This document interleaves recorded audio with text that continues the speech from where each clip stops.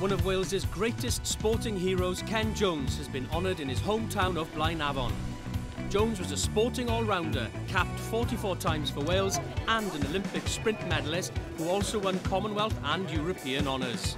The background of the campaign basically was to raise funding to, to erect a statue of Blaenavon's most famous son, Ken Jones, who was an Olympic silver medalist, Welsh Rugby Union player, British Lions, Barbarians, uh, and the achievements that Ken had will never be will never be done again.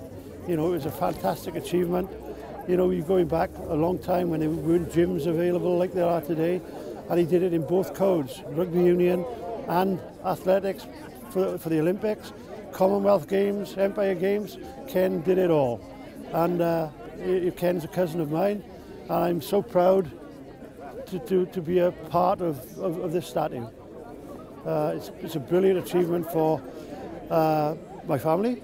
It's a brilliant achievement for the town of Blaenavon and for Blaenavon Rugby Club where I'm chairman. Um, and I, I appreciate every everything that's been done, especially by the Welsh Rugby Union, um, who donated uh, £5,000 to, to the statue. They really started it off. Uh, and I'm, I'm, you know, we owe them a, a great debt.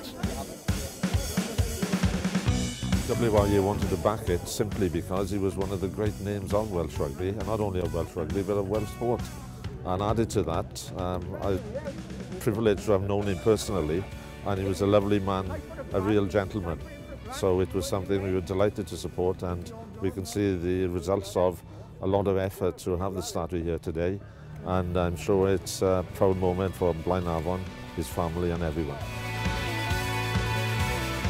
He could have had a gold medal in the Olympics, but uh, he ended up with a silver medal, and that was a, a great achievement in its own. But as a rugby player, to have 44 consecutive caps in those days, if he'd been playing now, we would have way past the century. So um, it's great to be here to represent the WRU along with Mal.